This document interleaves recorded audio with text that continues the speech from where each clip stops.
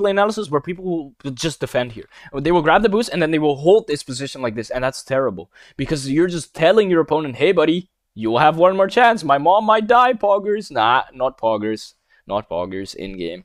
Um, very good. Put as much pressure as you can because it might make him now play the ball. He might try to outplay. Oh, for the love of God, don't challenge here, Devixel. If you're challenging here, I'm coming through your house and I'm coming on you. Like, actually. Um, for the love of God.